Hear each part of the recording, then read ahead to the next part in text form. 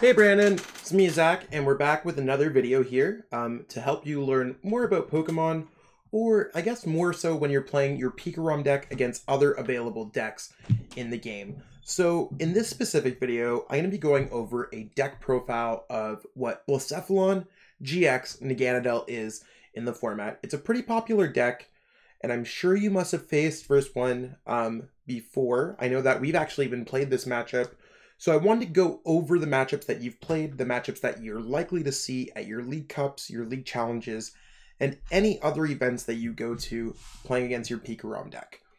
So it's a good idea to know exactly what decks are available in the current formats, and we'll see exactly what's up with them. So let's just jump into it so we can see how this deck works. So this deck's main attacker is Blacephalon GX. It's a normal 2 prize card Pokemon and has three attacks. Now, against your deck, they usually want to use Mind Blown to discard to lost zone enough energies to knock out your tag team GX Pokemon. Their goal is to either go Mind Blown twice to knock out a Pikachu Zekrom GX and a Raichu Alolan Raichu GX, or they're going to go for Burst GX to discard one of their prize cards. So they have five left, knock out a tag team GX Pokemon, and then use Naganadel GX to snipe one of your Dedennes on the bench with Venom Shot for 170 damage. So this deck can be quick, quick and aggressive because it has a lot of ways to draw cards, attach energy, and it can do a lot of damage very quickly. So basically, their best starter is this Pokemon. If they don't have enough for Mind Blown, they're either going to be using Bursting Burn or Burst GX.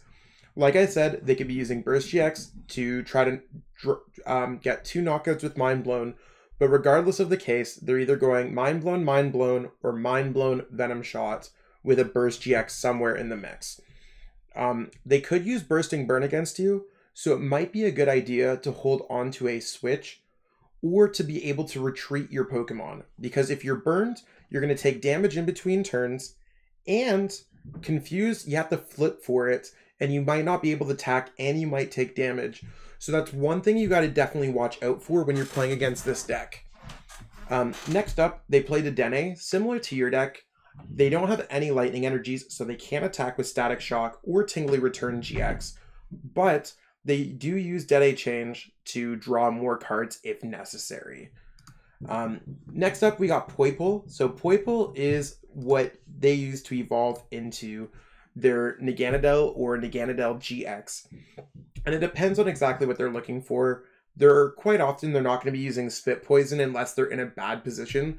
So if you see your opponent using spit poison, again, just like bursting burn, you could always retreat your Pokemon to get out of a status condition or play a switch. You so if they're using spit poison, they're probably not having a great game. And depending on what they're looking for, whether it's energies or to draw cards or attack, they're going to evolve into Naganadel or Naganadel GX. They're going to evolve into Naganadel to use Charging Up. You can attach a basic energy card from your discard pile to this Pokemon, and that gets enough energies or extra energies in play to be attacking with Mind Blown. So the more Naganadels that they have in play, it they can get the they can get energies. So a strategy that I'd recommend is make sure that you're looking through your opponent's discard pile so you can see how many energies they can get with charging up. So when you're trying to knock make a decision on what you could do with your turn, you want to go with something that means that you're not getting knocked out with mind blown or that you're okay with getting knocked out with mind blown. Next up, we have uh, Naganadel GX. Um, so they're going to be using this to draw some cards. Um, they discard an Ultra Beast card from their hand, and you can see um, right under the HP, it shows all the Ultra Beasts that they have. So Ultra Beast, Ultra Beast, Ultra Beast, Ultra Beast. So they have quite a few in the deck that they could discard and that will allow them to draw three cards with Ultra Conversion. As I've said, if they're using Venom Shot, it's likely to knock out one of your Dedennes on the bench, and they can quickly power this Pokemon up with Beast Ring or with Welder, because this deck also plays Welder. Um, in very rare circumstances, they can put on a Beast Energy Prism Star. Beast Energy Prism Star counts as all types of energies when it's attached to an Ultra Beast, and they do an additional 30 damage. That doesn't matter for Injection GX, they can add a prize card from your opponent's discard pile into their prize cards. So, interesting kind of concept there. I personally haven't used this attack against Pikarom. I don't think there's enough time in the game, so I wouldn't worry too much about Injection GX. I'm more so saying that it exists. So when you're trying to attack their Pokemon, as you'll see in the next video, the best strategy when you're playing against this deck is to avoid activating your opponent's Beast Ring. Your opponent can only play Beast Ring if you have three or four prize cards remaining. So that's if you knock out one of their GX Pokemon, basically. If you knock out a Blacephalon GX, they can use Beast Ring. So a good strategy for you to use is to hit Blacephalon GX with full blitz for 150 damage, power up the energies to your Pikarom, and then bring up another Blacephalon GX with no damage on it and attack them with Tag Bolt GX to snipe both of them. Sometimes this list will want, run a Mew, which can stop that. So the Mew that I'm talking about is the one right here. Show you really quick, just in case it's either this Mew or this Mew, the same exact Mew, just different art. and that would block your Tag Bolt GX. So it's something for you to watch out for um, because that would stop your Tag Bolt GX from hitting on the bench. And so that's basically your big strategy when it comes to that deck. They have other cards in this deck too. They have Acrobike, which is used as a consistency card for their deck they can look at the top two cards and maybe they'll get something like a Beast Ring in their hand and discard a fire energy. If they discard a fire energy, they're going to bring the energy back with charging up. They have Beast Ring, so as we went over, they can attach two basic energy cards from their deck to one of their Ultra Beasts, any of their Ultra Beasts. It, it could be Blacephalon, it could be Poipole, it could be Naganadel, or it could be Naganadel GX.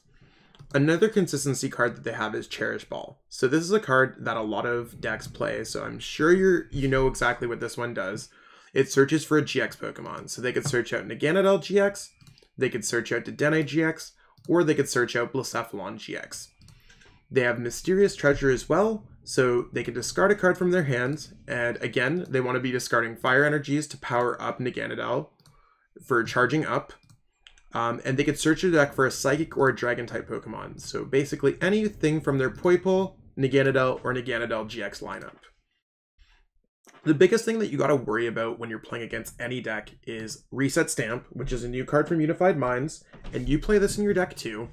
Your opponent shuffles their hand into their deck, and they draw a card for each of their remaining prize cards. So it's one of those things where you got to really be careful when you're knocking out Pokemon. Now, your strategy is to draw four prize cards at once, and you'll see that in the next video um, when we play against that matchup. It's uh, It works out pretty well like that.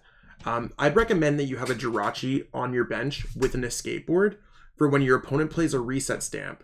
So if they knock out their your active Pokemon, and then play resets or pl- play reset stamp and knock out your active Pokemon, you could send up a Jirachi and then use Stellar Wish to try to get more cards. Because Pokemon is so much more fun when you're able to play cards. They have Heat Factory here, so another one of those things, discarding fire energies from your hands, and you can draw, they can draw three cards, and they're trying to get more fire energy in the discard pile for Naganadel. So they might bump your stadium. They do play four stadiums in this deck. So it's one of those things where between the one Heat Factory and three Ultra Space, you got to be careful when you're playing your Thunder Mountain Prism Star. You want to make sure the moment that you're playing it is the turn that you want it to count. Your opponent will likely try to counter that stadium as soon as you play it on their next turn. So just be prepared for that, that you're making playing it on the right turn and that you need it to attack that turn. Don't play cards for no reason. Ultra Space is basically you get to search through your deck for an Ultra Beast card, reveal it, and put it in your hand. So since you don't play any Ultra Beasts in your deck, um, you can still search through your deck, and you can see if you have any important cards prized if your opponent plays an Ultra Space against you. It's definitely one of those things where they can you can look through your deck and be like, what are the important cards? right now, ask yourself what are the most important cards you could be grabbing out of your deck at any point? What what could you be searching for? In most cases, you're probably going to say, Do I have my Tapu Koko Prism Star? Do I have my Thunder Mountain Prism Star? Do I have a lot of lightning energies? Do I have my Pikaroms? Most of your Pokemon are actually super important. Do you have Zeraora that will allow you to get your free retreats? Think about the cards that are really important in your deck, and then maybe just like search for them with Ultra Space next time your opponent plays them. Plays one down. Um, so Ultra Space, like I said, can search out any of their Ultra Beast Pokemon, Poipole, Blacephalon, any of the Naganadel or Naganadel GX. Next up here, they got two copies of Cynthia. So they're just playing this to shuffle their hand and draw more cards. Um, pretty typical supporter. A lot of decks play this. It's a really common card. It's not really affecting you. Um, it's just merely a Cynthia.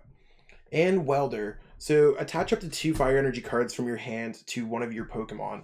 If you do, draw three more cards. So they're going to be using that to power up their fire energies, and they're going to try to get some damage for Mind Blown. So earlier I was saying, can will they have enough energies from what they have in play during the game with Naganadels charging up and what they have in play already? But you do also have to watch out for Welder that can get two more fire energies in play at any given time. So when you're trying to see if your Pokemon's safe, maybe you don't want to go full blitz right onto your active Pikarom. Sometimes you want to do it to the benched one, or sometimes you're going to have to play into Beast Ring. It's one of those things where your hand and what you draw is going to allow you to make those decisions. It's basically, you just got to think about what your opponent can do on their turn so that you could try to have a better chance to win against them. We've already went over Beast Energy Prism Star a little bit before, but they can attach it to any of their Pokemon, even at a Dedenne, but for Ultra Beast Pokemon like Blacephalon, it does an extra 30 damage. It doesn't really matter because if they lost zone 5 energies with Mind Blown, they are going to be doing 250 damage. But if one of those was a Beast Ring or a Beast Energy Prism Star, they'd be doing 280 damage. So that could be really relevant if they're knocking out a Dedenne with three energies. So three fire energies would be 150 damage, but two fires and a Beast Energy Prism Star would knock out a Dedenne at 180. Same thing with Raichu and Alolan Raichu GX.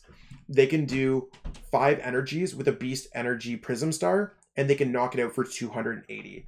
So if they have a Beast Energy Prism Star in play, it is something that you got to watch out for because it kind of makes them need only one energy less.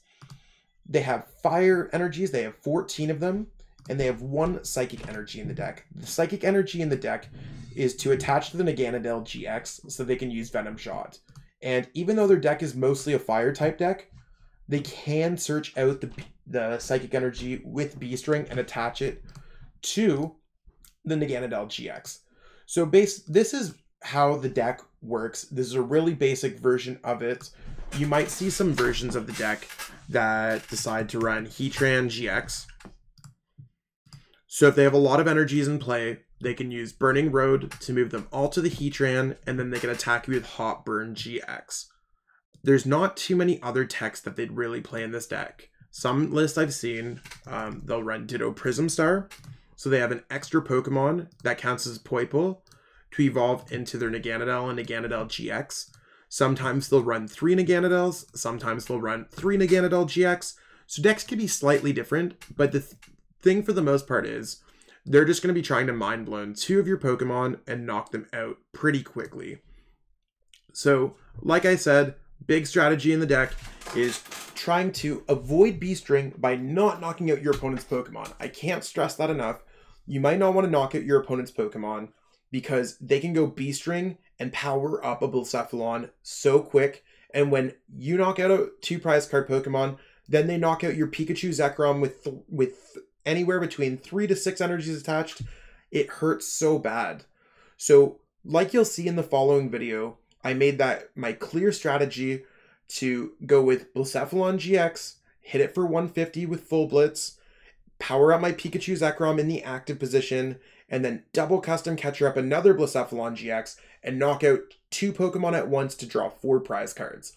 It's a really cool play, and it doesn't necessarily matter in other matchups, But this is really the one matchup where it matters because Beast Ring, you do not want them to play one Beast Ring, two Beast Ring, three Beast Ring, or four Beast Ring.